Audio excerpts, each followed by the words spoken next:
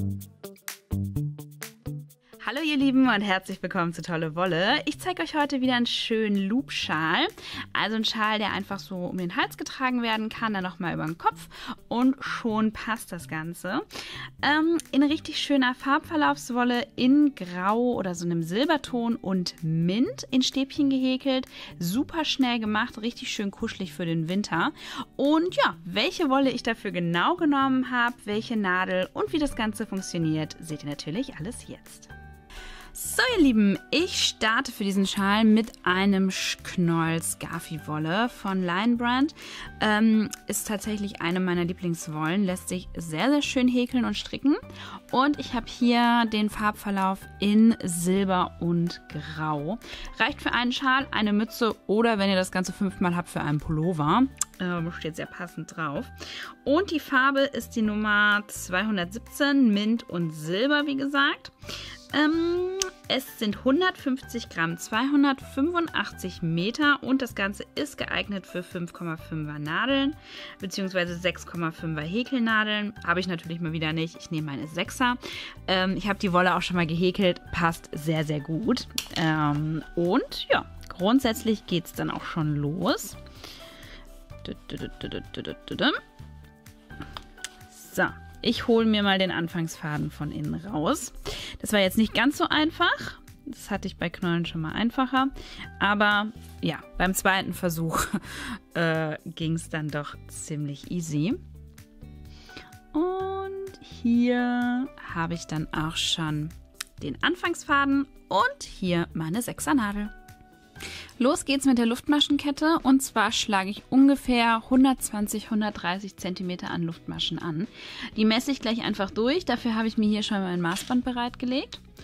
Und vorher, wie gesagt, einfach anfangen, Luftmaschen zu häkeln. Einfach den Faden immer holen und direkt durchziehen. So, ich habe jetzt die Länge erreicht, die ich haben wollte.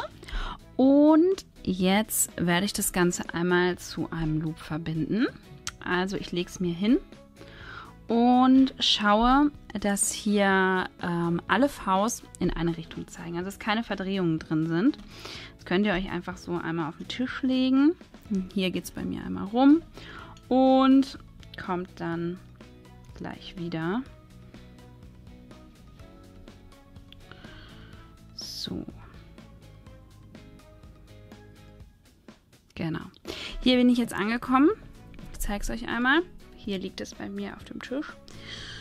Ähm, hier hat es jetzt zwar einen Bogen gemacht, aber da sind auch keine Verdrehungen drin. Das ist wichtig, weil sonst habt ihr halt Verdrehungen im Schal drin. Lässt sich natürlich auch noch ausgleichen, ist aber ein bisschen frickelig und ist einfach einfacher, es direkt zu vermeiden. Und ja, dann steche ich hier in die erste Masche wieder ein, hole den Faden durch und ziehe ihn direkt auch durch die weitere Masche durch und habe das Ganze jetzt einfach zu einem ähm, ja, langen, großen Ring verbunden. Jetzt nehme ich drei Maschen für die Höhe und fange an, Stäbchen zu häkeln. Also einen Umschlag nehmen, einstechen, Faden holen, durch zwei und nochmal durch zwei. Umschlag, einstechen, durch zwei und durch zwei. Umschlag, einstechen, durch zwei und nochmal durch zwei. Und das jetzt einmal komplett die gesamte Runde über. Immer einen Umschlag nehmen, einstechen, durch zwei und nochmal durch zwei. Umschlag, einstechen, durch zwei und durch zwei. Und wie gesagt, bis ich hier wieder angekommen bin. Okay, hier bin ich jetzt wieder angekommen und ich mache jetzt eine Kettmasche hier oben in die erste Masche, die ich gehäkelt habe, hinein und habe das Ganze jetzt komplett verbunden. Ähm, weiter es jetzt mit dem Häkeln und zwar nehme ich jetzt zwei Luftmaschen für die Höhe. Ich nehme jetzt wieder einen Umschlag und ich steche jetzt nicht tatsächlich in die Masche ein, sondern ich steche jetzt immer zwischen die beiden Stäbchen der Vorrunde ein. Also ich steche tiefer ein. Hier wirklich in diese große Lücke, die zwischen den beiden Stäbchen ist, da herumstechen und ein weiteres Stäbchen häkeln. Also ich bin ein ganzes Stückchen tiefer, als wenn ich tatsächlich in die Masche einstechen würde. Und daher habe ich auch nur zwei Luftmaschen für die Höhe genommen. Geht super einfach. Es ist wirklich immer nur zwischen die beiden ähm, Stäbchen stechen und ein weiteres Stäbchen häkeln. Natürlich den Umschlag nicht vergessen, immer einstechen, durch zwei und durch zwei, Umschlag, durch zwei und durch zwei. Und ihr seht jetzt auch schon, ähm, ich habe so ein bisschen den Farbverlauf schon drin. Also es wird inzwischen schon ein Stückchen heller. Das Mint kommt schon so ein bisschen durch.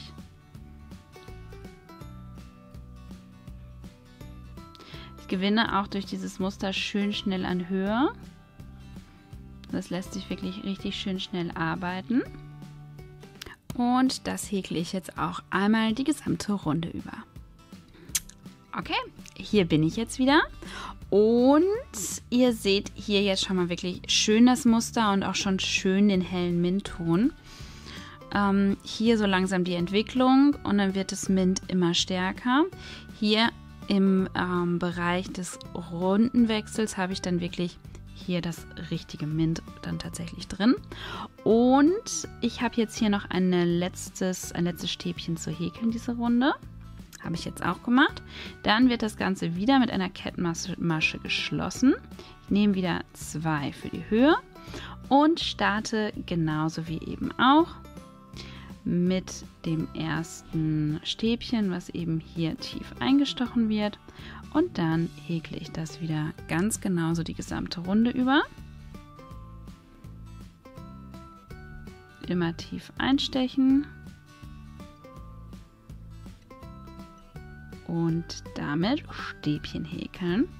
Und das häkle ich jetzt über das gesamte Knäuel. Ihr seht, ich habe noch ein bisschen was vor mir. Hier habe ich den äh, Mint-Teil, dann wird es wieder grau, dann wieder Mint und zum Abschluss habe ich dann wieder das Grau drin. Also ein bisschen habe ich noch vor mir. Ich gebe euch natürlich zwischendurch nochmal so ein kleines Update.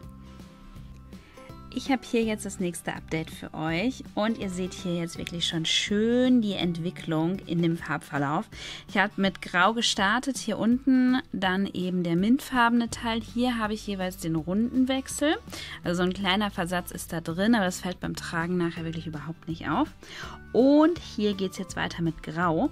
Ich habe noch ein bisschen was an Wolle vor mir. Ähm, ich häkel das Knoll ja von innen, das zieht sich hier wirklich schön raus. Geht jetzt von Silber nochmal über über das Mint und dann nochmal zurück zum Silber. Und ja, dann sehen wir uns gleich wieder, wenn der Schal fast fertig ist. Inzwischen bin ich fast am Ende angekommen. Der Schal hat jetzt eine Höhe von ungefähr 16 cm. Und ihr seht jetzt hier auch beide Farbabschnitte, beziehungsweise die beiden mintfarbenen Farbabschnitte sehr schön. Also wirklich ein sehr schöner Farbverlauf drin. Und ich habe jetzt noch so einen kleinen Rest Wolle hier. Ähm, und ich habe mir jetzt überlegt, ich mache noch eine Abschlussreihe.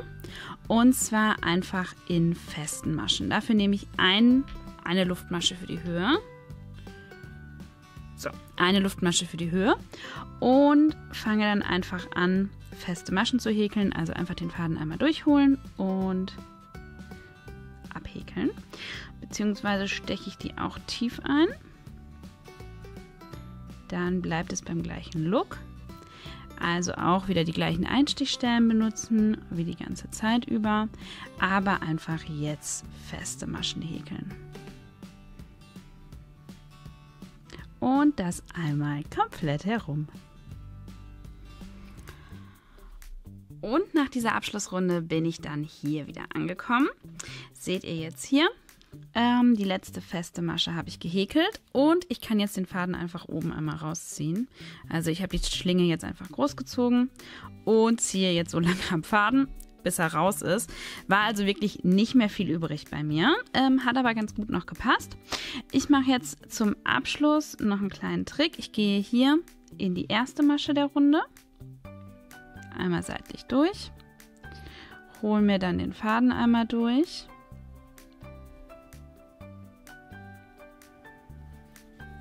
auch einmal wieder komplett rüberziehen.